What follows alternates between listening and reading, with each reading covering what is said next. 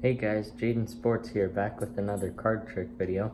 This time, I am going to be teaching you guys two easy beginner card tricks. Hope you guys like it. Let's get into it. So for the first trick, uh, we have an awesome, but not very well-known trick. Most people don't learn it as a beginner. Most people as beginners learn math tricks. Uh, but I think this is actually a great one this is a classic with my own twist on it. I call it the mind reading card cut trick. It's pretty cool and it's pretty simple and it teaches you some basic principles of magic. So let's get right into it. So to start, you'll need a deck of cards, obviously, and so you'll need a spectator, uh, a member of your audience, just choose any one of them. And what I like to do is I like to let them shuffle, because that way they know you haven't like stacked the deck. Uh, stacking it means like put specific cards at the top or put it in a specific order. So you know that it isn't. You know it's in a random order, but they don't. So if you let them shuffle, then they know that, and it just makes the trick more powerful. So give the cards to the spectator. Let them shuffle it as much as they want or as little as they want. They don't even have to shuffle. It's their choice. Most will choose to shuffle. Um, it doesn't matter the order of the cards. Some people, especially with beginners, sometimes they're like afraid of them noticing something or of the cards like getting mixed up. But this one, it literally doesn't matter. Then, when you take the back, when you take the cards back, uh, you can do one of two things, and this is very key. So you will either slip it up kind of like this, and like look at the cards as you put it in your hand. You gotta look at the bottom card, but um, sometimes they can see you doing that because you kind of go like this and look down. So what I like to do is I take it back and I say, okay, so you have shuffled the cards, but let's just check they're in a random order. They're not like in a stacked order. Or you can say, okay, you've shuffled the cards, but let's double check that they're all different. So then you flip it over, and as you spread out the cards, and they look here along these cards and make sure it's not in any order, what you're doing is you're looking right here. You are looking at that bottom card. So in this case, that bottom card is the king of clubs. So this is what's called a key card. In this trick, it is a key card and key cards are used in many different ways in Magic. And for this one, you that's the only key card. Some have multiple key cards. So all you have to do is remember this, king of clubs.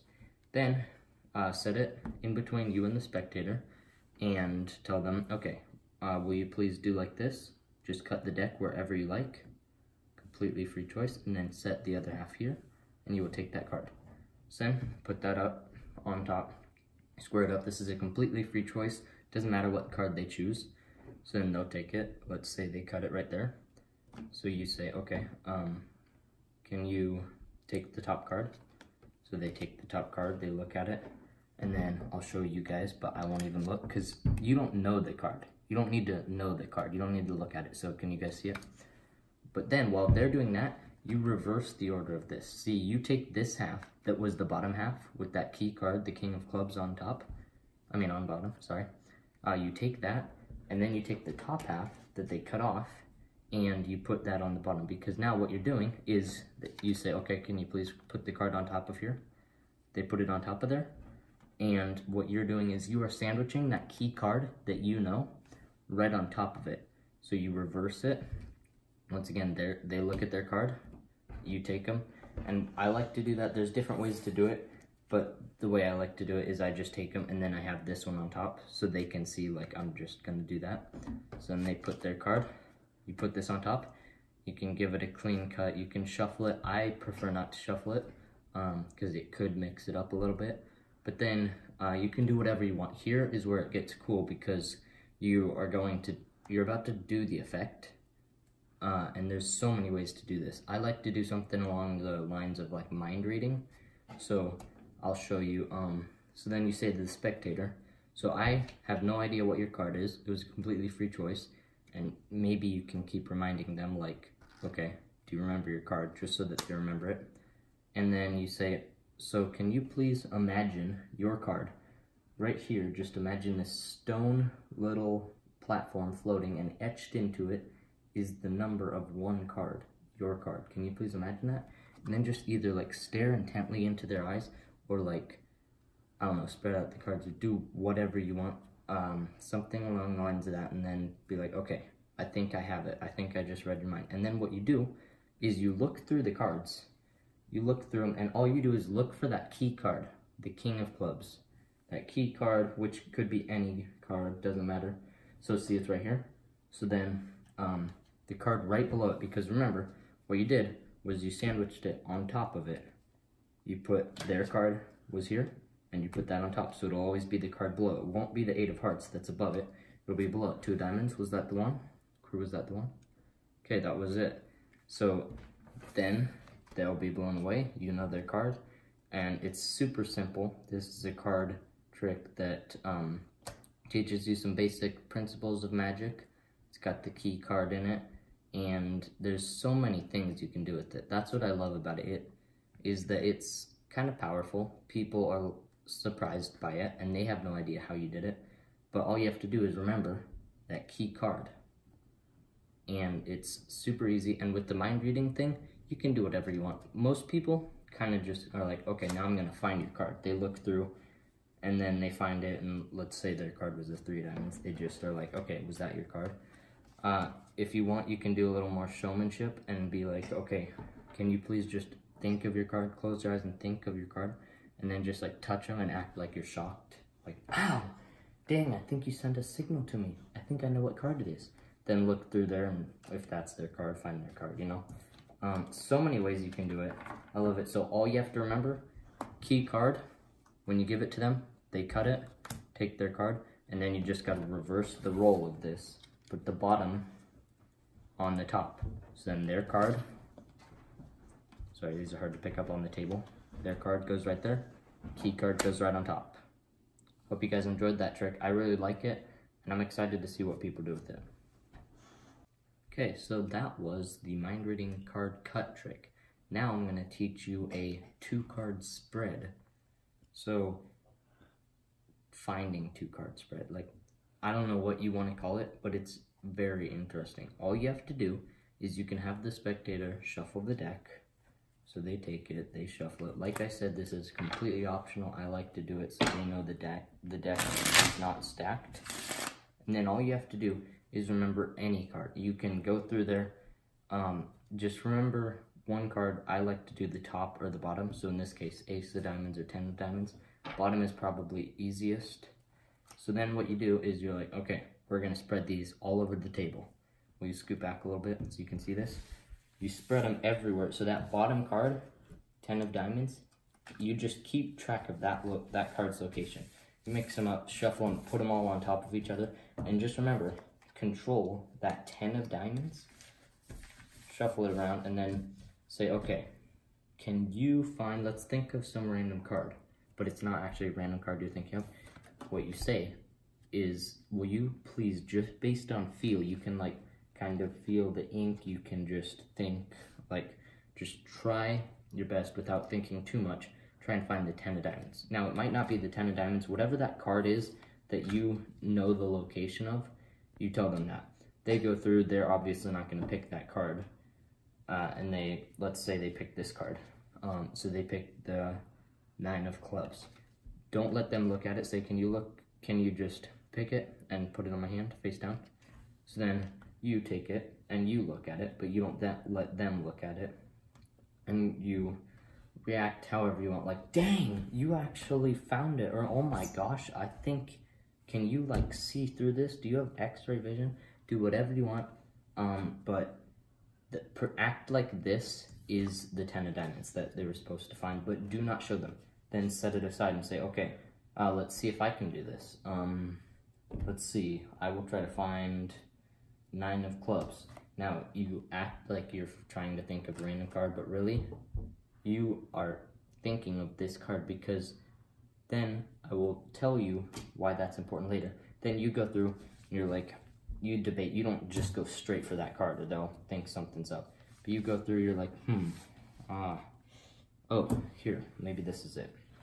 And then you're like, take the two cards, mix them up, make it where they can't tell which one was which or whatever, and then flip them both over, and it looks like you guys just found two cards out of the deck. Out of all 52 cards, you can show they're all different, mixed up, but what you did was you said that they were going to find the 10 of diamonds. They didn't. They found a random card. It didn't have to be the 9 of clubs. It could have been the jack of clubs. Could have been any card. Well, another club. Um, nine of spades, whatever. It literally doesn't matter. But then you just have to know that. You don't even have to present it to them like, dang, you actually got it. You can wait, but you just have to somehow get a secret glance. So if you take it back from them, kind of just like look at it. If you just take it back, just lift it up a little bit, just so you can see the value of it, and then set it aside. But as long as you know that value, that's the only thing. And then you say that you are going to find whatever card they found. You say I'm going to find the whatever their card was. So if their card was the three of diamonds, say I'm going to find the three diamonds. In reality, you are finding the 10 of diamonds that you know the location of. But then once you mix the cards up at the end, uh, or you can do whatever you want with that. If you somehow just make it where it's not like, okay, I just took this, now let me show you. But then they'll say like, wait, weren't you looking for this card? It's not. So just make sure you don't let them know that. But all you have to do is you're finding the card that you listed in the beginning that you knew the location of. They're finding any random card and they think they found what you said. And they think that you found um, then what you said the second time. In reality, you're finding your card. They found whatever, but then you say, um, I'm going to find the nine of clubs, but really they found the nine of clubs. So all you have to do is know the location of one card. I would recommend the bottom card. That's the best one to go with because when you're spreading out the cards, okay, we'll be back in just a second. Now that we got the deck squared up, sorry about that. All you have to do is that um, find the location of one card. So why the bottom is easiest is when you're going like this, you tend to kind of swirl around and you mix that top card in there. But then the bottom one, since you start here, stays there. See, the bottom card is still there. And then obviously don't just let it be like off to the side. Like kind of mix it in there, but make sure you know. So you can kind of follow it as you mix it up. See, now it's right there. Then mix it further, it's there, whatever. Just keep track of it secretly. Okay, I just lost it. This is bad. Oh, there. Okay. Just make sure you know the location of it. And then um, you are obviously finding your card. Uh, and they're finding whatever card, but you say you're going to find their card. And it's super stunning. If they figure out the secret, it's okay. Um, cool for them. Uh, my brother found out the secret the first time I did it but other times it fools other people. And if they're not trying to find out what you're doing, it will actually fool them. So it's pretty cool. Any two cards, uh, they can shuffle it, doesn't matter, just somehow um, glance at the bottom card. And like I said in the first trick, what I like to do is spread out the cards and show them, okay, it's not in any order. And then you see that bottom card, okay? Because then when you spread it, they won't pay attention to that bottom card. Even if they did see that bottom card, they saw it getting all mixed up. They don't know that you tracked it the whole time, you know? They don't know that, oh, you were tracking it. It's right there. So it's pretty cool. Hope you guys enjoyed the video. Uh, if you did, make sure to like and subscribe if you have not already. Check out my other videos and comment for what you think I should do next. Also, I will probably put a poll in the eye icon up in the corner. So if you want to see more magic videos, comment that. If you want to see more sports videos, just tell us that. God bless you and have a great day.